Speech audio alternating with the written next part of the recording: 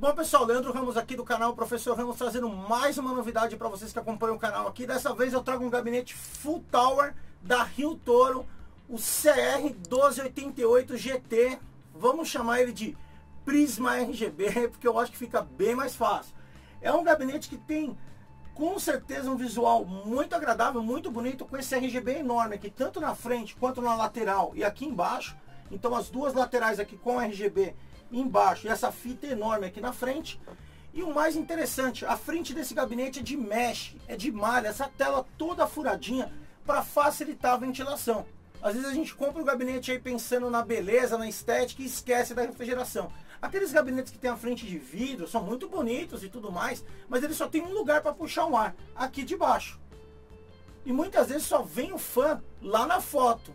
E aí o pessoal monta o micro, o micro vira uma estufa, né? Fica esquentando ainda mais para quem vai montar um Ryzen, que é o caso do cliente aqui. Então, junto com ele, acessei o site da Terabyte, estávamos vendo lá quais são os gabinetes, e ele acabou optando por esse gabinete. Você vai encontrar gabinete da Rio Toro, é, começando na faixa dos 270 reais até 900 reais no site da Terabyte Shop. E ele acabou escolhendo esse e eu achei que foi uma excelente escolha. Não é o mais barato dos gabinetes, mas é um gabinete que vai ficar com ele por muito tempo. Então dá para usar nessa máquina que ele vai montar e continuar usando o mesmo gabinete para projetos futuros. Afinal, quem gosta de hardware sabe que a gente vive fazendo um upgrade, trocando peça e o gabinete vai ficando aí. Você troca a placa de vídeo, continua com o gabinete. Troca a placa mãe processador, continua com o gabinete. E é um gabinete por um bom tempo. Ele tem esse charme aqui dessa quina chanfrada, que é bem interessante, não é aquele gabinete que é quadrado nem em cima nem embaixo, ó. Tem chanfro dos dois lados. E essa tela toda de mesh aqui vai puxar um ar direto aqui, ó, da frente do gabinete. Então, ele vai puxar. Ah, Leandro, mas vai encher de poeira, porque tem uma tela aí na frente. Aqui atrás, se você puxar, você vai abrir essa frente. Já tem ali filtro de poeira em todas as entradas. E não é só aqui na frente. Tem um filtro de poeira com imã. Aqui na parte de cima, olha que legal aquele filtro de poeira magnético que basta puxar. E aqui também na parte de baixo também tem filtro de poeira. Deixa eu puxar aqui.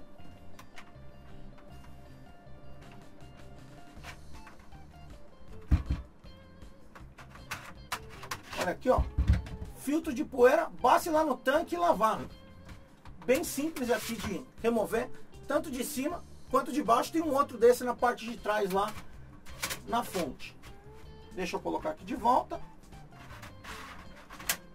Pronto. Então, com certeza, essa é uma opção de gabinete muito bem refrigerado. Deixa eu mostrar um pouquinho aqui os efeitos RGB. Então, aqui na parte de cima, você encontra as portas USB, o lugar para você ligar fone de ouvido, caixinha de som e microfone, e também os controladores de LED aqui.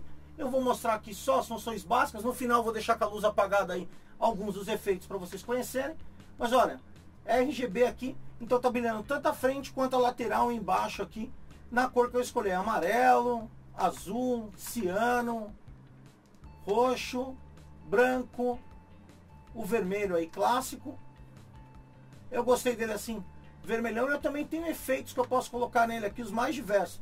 Esse que dá uma piscada e volta.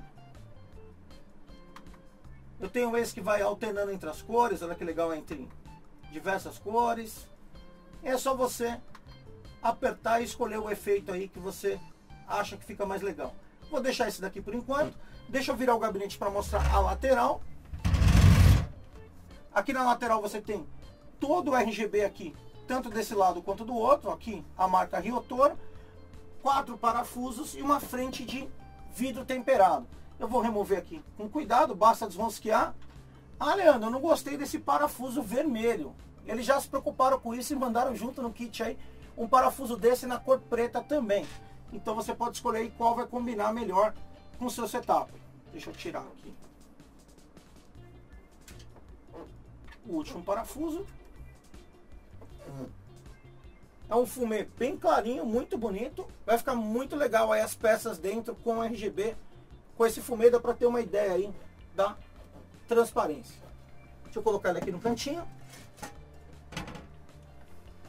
mostrando a parte de dentro para vocês. As duas fãs de 140 milímetros que já acompanham o gabinete aqui na parte da frente, puxando o ar frio da frente aqui pela tela de mesh, levando o ar aqui para dentro do gabinete. E tem uma fã aqui que já acompanha no fundo para tirar o ar quente, fazendo um ótimo airflow aqui, um ótimo fluxo de ar dentro do gabinete, pegando o ar frio de fora e tirando o ar quente aqui por cima.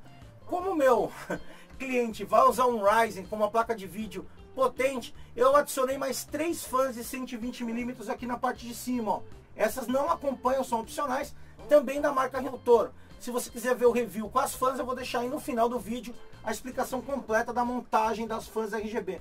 O legal de colocar a fã da mesma marca aqui é que eu aproveito a controladora para controlar ao mesmo tempo a frente do gabinete e as três fãs aqui no topo. Ainda tem espaço para colocar mais uma fã aqui embaixo de 120 milímetros ou se você quiser trocar essa que veio no fundo, dá para colocar uma de 140, mas já vem com o gabinete.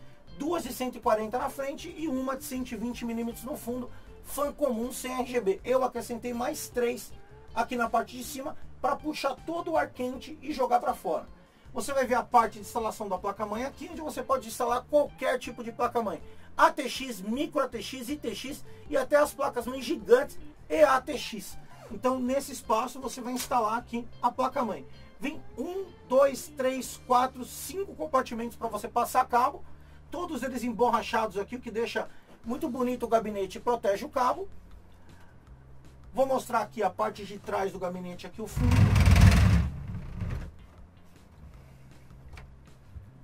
Aqui no fundo você vai ver o espaço da fonte e ainda tem três dedos aqui, ó, de espaço para o ar quente sair aqui e não contaminar o compartimento onde fica o processador, a memória e tudo mais. Você vai ver o lugar do espelho da placa-mãe, a fan de 120mm que já acompanha aqui. Uma, duas, três, quatro, cinco, seis, sete, oito espaços para você colocar placas, mais um espaço perfurado aqui. Então tem uma traseira aqui bem imponente para você colocar qualquer tipo de micro e o detalhe aqui do chanfrado na parte de cima. Deixa eu mostrar a parte de gerenciamento de cabos aqui do outro lado. Antes, deixa eu mostrar, ó, na parte de trás, mais um filtro de poeira, esse é da fonte. Bem fácil de tirar, lavar, instalar aqui. O gabinete é completaço. Aqui no outro lado você tem um espaço do LED aqui, que eu desliguei a fonte agora no momento. Uma chapa, você remove com parafuso de dedo aqui, então basta deslosquear com a mão. Puxar. É uma chapa bem firme. E agora aqui um espaço que ninguém vê que fica escondido, que é o espaço para gerenciamento de cabos. Tem muito espaço aqui para você gerenciar cabos. Nota, eu coloquei a fonte aqui de 750 watts, ó. Ainda tem três dedos de espaço aqui nesse compartimento de baixo. E agora eu quero fazer uma explicação para você entender uma coisa. Tem muito gabinete que tem a cover, que é só aquela tampa para você esconder a fonte e os fios ali. Não é o caso do gabinete da Rio Toro. Olhando aqui pela parte de trás, você vai entender direitinho. Eu tenho um compartimento separado para os HDs de 3,5 para a fonte e um outro compartimento separado para placa-mãe, processador, memória, o restante do PC. Então são duas áreas completamente separadas aqui. A fonte aqui sobra espaço para você colocar uma fonte. Eu vou deixar a medida da fonte máxima aí. E você tem uma, duas, três, quatro baias para colocar HD nesse sistema que você puxa instala o HD nessa pecinha de plástico sem parafuso, basta encaixar HD de 3,5 e vem aqui e encaixa de novo.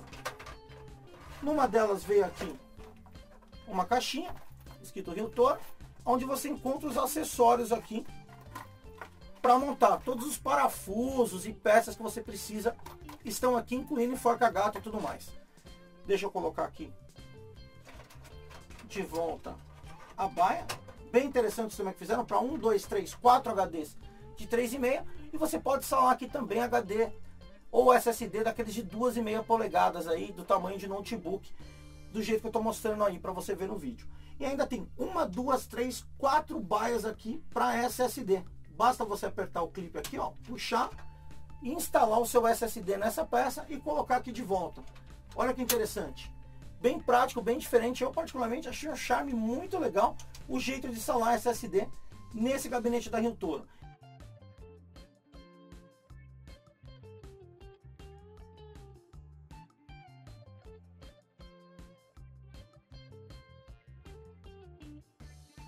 E agora mais um charme, ele tem uma canaleta aqui, ó, para você organizar os cabos e já vem com essa fita Olha que legal aqui as fitinhas para você prender.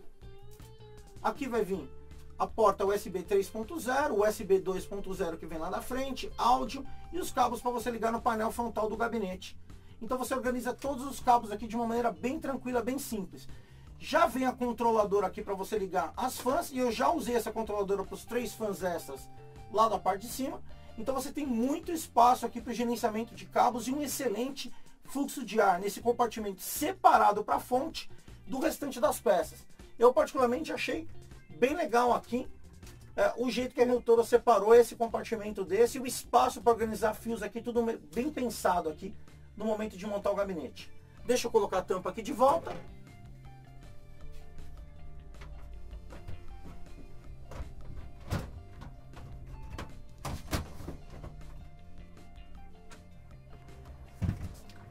Falando aqui da parte de cima agora, olha que interessante. Eu tenho aqui o botão liga e desliga, é, controlar a cor e o efeito, o brilho, o modo, conector aqui para você ligar fone de ouvido e microfone, portas USB 3.0 e 2.0, o botão reset. E ainda você tem acesso aqui à parte das fãs aqui, com aquele filtro de poeira bem interessante aí, com todo efeito RGB. Bom pessoal, então tá aí mais uma opção de gabinete no Brasil bem interessante para você comprar. Um gabinete que tem uma excelente construção, não é aquele gabinete molengão, super firme, full tower, ou seja, para montar qualquer projeto, tem espaço de sobra para gerenciamento de cabos. Um dos gabinetes que tem, na minha opinião, o melhor sistema de ventilação aí com essa frente em malha aqui para puxar o ar frio de fora, já acompanha duas fãs de 140 milímetros, mais uma na parte de trás de 120 para fazer um excelente fluxo de ar. Eu aí como gosto da máquina o mais fria possível, ainda instalei mais três na parte de cima aí, mais três fãs. Já comprei o kit gabinete, fã, tudo da Reutor. O meu cliente gostou bastante do gabinete, ele veio aqui no final de semana dar uma olhada em casa aqui enquanto eu termino de montar a máquina. E teve uma grata surpresa aí quando a gente vê a qualidade de construção, nos detalhes, tudo certinho, bonitinho. É uma excelente opção de gabinete aí para você montar um PC. Espero que vocês tenham gostado. Quem gostou, não esquece de largar aquele joinha, se inscrever no canal que não é inscrito, ativar as notificações e até a próxima. ProfessorRamos.com, montando mais um PC Gamer.